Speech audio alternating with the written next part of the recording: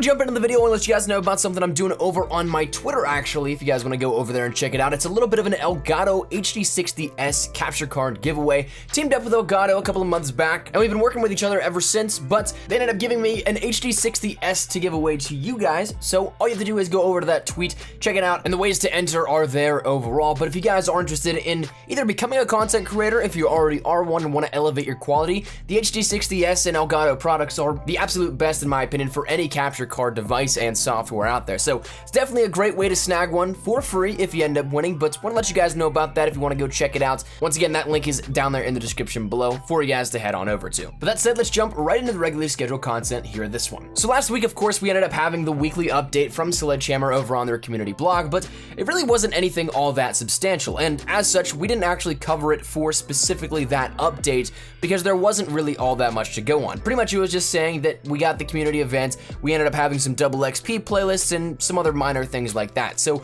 realistically, it was all stuff we've talked about before, but this week is a little bit different. It's a little bit more beefy and a little bit more information put into this update compared to the last week. Still isn't anything absolutely major compared to say when we had the division overhaul up on the deck, but it is still a substantial amount of information that I want to talk to you guys about here at this one. So today we're going to be recapping everything you need to know about this one from start to finish. So let's jump right out here with the first thing that they end up talking about, that being the Blitzkrieg community event, in which it is the last week for this. So it ends on Tuesday at 10 a.m. Pacific Standard Time, that being May 8th, this upcoming Tuesday. So a couple of days from now, everything will lock up. So make sure you get some playtime in this weekend if you have some things that you still are looking forward to. Such things in those Blitzkrieg collections being the Itra Burst, the Sterling, the Baseball Bat, and the British Tanker as those max collection rewards, but also some cool stuff thrown in the mix there as well. You end up having, I believe, some of the camos also in there. You end up seeing some weapon charms, some calling cards, stuff like that if you are interested in it. Of course, those are going to lock up this Tuesday. So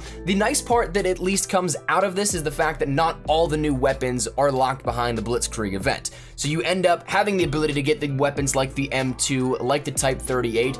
Those are available in Operation Overlord, so those won't lock up, but unfortunately, again, those four main things are going to lock up this Tuesday.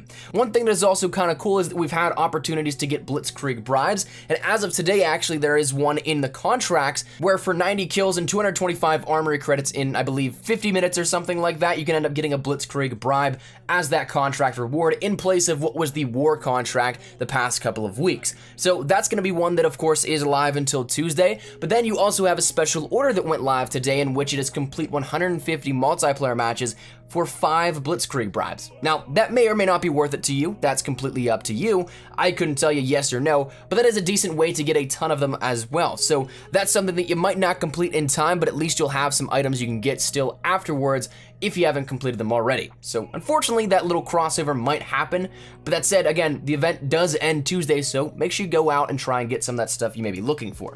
Now, the next thing up on the list is the actual community challenge, because we ended up completing tier three earlier in the week, but we are still a little bit behind schedule, as we've talked about a couple of times here in videos already.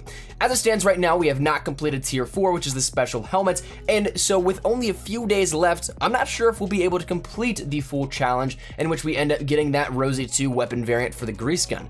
Honestly, I'd love to. I think it's an absolutely awesome variant, and I think it'd be awesome even still if we end up getting it regardless, but I don't know if that'll happen, and that's one thing that, again, taking a look at the mathematics for it, off the top of my head, I can't remember the exact number as of recording this that we were sitting at to see just how close we were, but as it stands as of day or two before, we'd see ourselves about 3 to 4 million contract and order completions short of actually hitting that 75 million goal for the overall community challenge. So if you do have some challenges that you have available, like in zombies or multiplayer orders and contracts, they're either easy to do or available and you have the opportunity to do so, definitely try to do them so the community has a little bit more of a fighting chance if you're willing to contribute. Next up is a quick little mention though of triple double XP on the HQ 24-7 playlist. That is double weapon XP, double soldier XP, and double division XP live now in the HQ 24-7 playlist only until the end of the Blitzkrieg event at 10 a.m. Pacific Standard Time on Tuesday. That is the last hurrah in terms of double XP modes that we've seen through the Blitzkrieg event. Personally, I wish there's a little bit more. I feel like there's a lot of stress on the party up double XP and not necessarily for solo players, which myself, I am one of those, so maybe I'm a little bit biased, but that's one thing that not really being the biggest fan of HQ 24-7 and just in personal preference, nothing against it. I wish it was kind of extended over to maybe Ground War. That'd be cool too, but regardless, back on track here. They end up mentioning a little bit about the hotfix and weapon tuning that went live yesterday as well. That being a little bit of an issue that they hotfixed with lag created by level 1000s getting kills in lobbies, but then they also ended up doing a little bit of adjustments to the ITRA burst, the BAR, the BAR, the Gewehr 43, then the PO8 1911, and the 9mm SAP, SAP, or the Walther P38 as you weapon enthusiasts may actually know it as. So that was something that was pushed through again yesterday. Then we ended up seeing a little bit about the weapon contract that was added in for the Gewehr 43, which again is available until Tuesday at 10 a.m. Pacific Standard Time. Then it will refresh for whatever it may be. We might end up seeing the We might end up seeing the trench knife, something like that. Because the way that it looks like to me is that we're on a sort of rotation now. We've seen the last couple of weeks Winter Siege weapons, so I might say we complete those weapons from Winter Siege before we jump into anything else, but I could be totally wrong with that one. That's just a hunch that I have, so we'll see in time what it is on Tuesday, the next weapon, but for right now, the Gewehr 43 is available in the Quartermaster with Butcher until Tuesday. Now here's where we start to get into some of the beefy things, because this is stuff that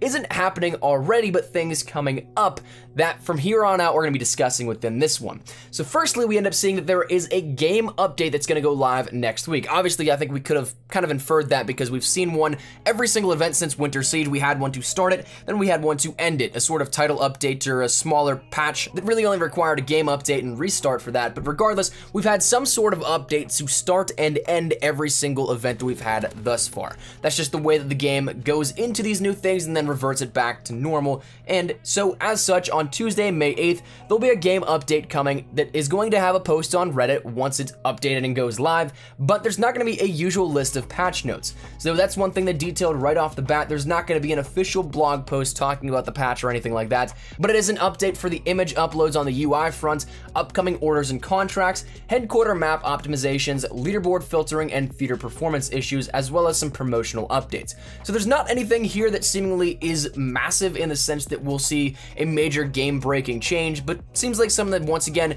UI things. There were some issues with how weapons, emblems, different in-game images that would come up either on the UI or the HUD at some point in time, those wouldn't display properly, so those are going to be fixed out. Upcoming orders and contracts, again, those are going to refresh within the Quartermaster and probably move away from those game mode specific ones for a little bit. Hopefully they're still cheaper than what we see a little bit now. Broke my heart a little bit going in and spending about 1,500 to 2,000 armory credits every single day to complete every one of those but that's just me. And then the other things that were mentioned, of course, that is pretty self-explanatory. So that's something that will be coming on Tuesday. Then, a little bit further, they asked if level 1000s would reach out and provide any feedback on the fix that they pushed out for level 1000 lag within games. Again, that was something that was fixed with this most recent hotfix, but to accurately monitor it and to see just how well that fix they deployed works, and if they needed to do a phase two, they're looking for some feedback from community members that are level 1000. So that's something they have a dedicated thread over on Reddit. I can leave the link down there in the description below if you guys are interested in that, to leave your info, videos, comments, whatever it may be about the experience after that, so they can know whether or not they need to push out phase two of the fix, or if they already got it. Perhaps the biggest thing to me, though, out of this, and the second to last thing we'll discuss in this video, is requisitions, because for a long, long time, the community has been asking for some sort of change. They've been asking for a little bit of some transparency or clarity on why requisitions is the way it is. Personally, I know that it is a great way for players that may not be as skilled to get those streaks and experience that a little bit more, but personally, I think it should be something that is very similar to the Modern Warfare 3 support package, where you have a lot of those non-lethal streaks, maybe you throw in one of the bombers, because that was something that, wow, I still don't really agree to this day, a bomber should have been in that package in Modern Warfare 3, it was there, so maybe you give them a bomber, but regardless, I always thought requisitions could have used a little bit of an adjustment, to which, verbatim, they said, we've heard your feedback and agree that this is worth exploring. We are looking into ways to rework requisitions that make sense and is more conducive to a better gameplay experience, especially since the most recent Division overhaul that we implemented. So right now there's no real clarity on to what these changes will be, but it's something that they're open to some dialogue. They're going to take a look at ways they can adjust it. And so for that, I think that it really comes down to the community now because they are very much so looking for feedback and it is something we can accurately give them our voices on and it's something that we can also make those voices heard. So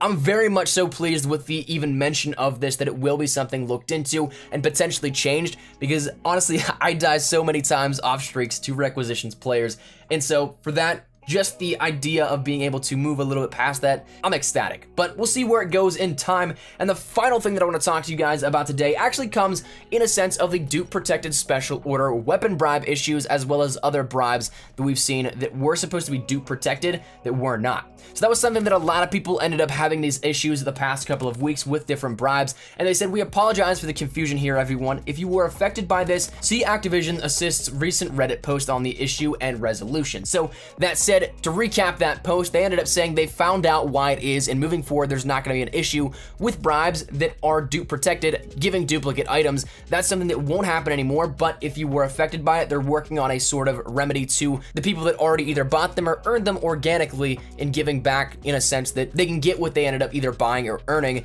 in a capacity again, so they don't have to miss out. So I definitely think that it's nice now that it is fixed out and moving forward that it won't be an issue. I hope that those things get resolved for the people that ended up already having those problems with it in the first place. I hope that gets fixed up quickly and so people can get their items they definitely deserve. But that said, that is going to conclude this week's community update for Call of Duty World War II. Again, a little bit beefier than that of last week's, maybe not necessarily, again, as big as the Division Overhaul one because that was a complete change of the fundamentals of the game, but this has some stuff we can look forward to and I'm really excited about that. So that said, let me get your thoughts and feedback down there in the comment section down below. What do you think of this requisition change and this game update coming on Tuesday? Is there anything in particular you're looking forward to out of either of those topics of discussion, or is there anything you don't necessarily like? Whatever it may be, feel free to let me know your thoughts down there in the comment section down below. But hopefully you guys enjoyed, hopefully you found this insightful, and if you guys did, make sure you drop a like down below. If you guys are new to the channel, make sure you guys subscribe so you don't miss a single thing regarding Call of Duty World War II. Anything regarding updates, news, tips, tricks, information, all that good stuff, we got you covered here up on the channel. So if any of it interests you, make sure that subscribe button so you don't miss a single thing. And if you guys want to follow me over on Twitter, that link is down there in the description below. It's the best way to get connected with me outside of YouTube. Practically live on Twitter, so if you guys want to strike up a conversation, ask me a question, whatever it may be, link is down there in the description below. And also, that little giveaway is going on over there too, so if you want to check that out, be sure to follow that link. And finally, if you guys want to follow me over on Instagram as well, trying to get more active over there, so that link is as well in the description below. But I'll see you guys later. Thank you guys all so much for watching. Hopefully you guys have a fantastic day. Mine's been Espresso. Take care, and peace.